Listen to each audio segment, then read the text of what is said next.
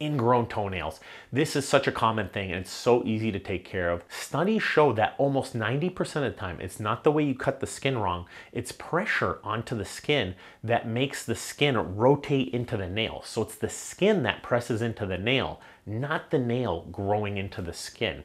This is very important, but this can lead to infection. It can lead to a cut at the edge of the nail border. Good supportive insoles, good supportive shoes. Take pressure off those toes clip it properly. There's ways to numb up the toe and clip the corner out. Studies do show that it is the footwear, the trauma to the toe, the constant repetitive steps, especially barefoot walking now that people are home with COVID. A study in 2014 showed that in a given year, 3% of the population will develop an ingrown toenail. That's a ton of ingrown toenails. They could get infected, they could get pus, they could lead to cellulitis. So make sure you get these taken care of. I have my complete guide and favorite tools below.